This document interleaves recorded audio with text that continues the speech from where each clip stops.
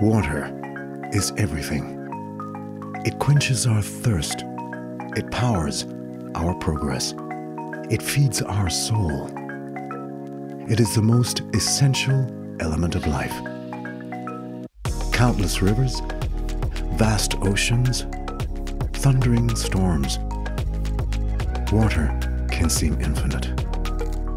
But for 500 million people across Asia and the Pacific, their daily relationship with water is one of struggle and hardship.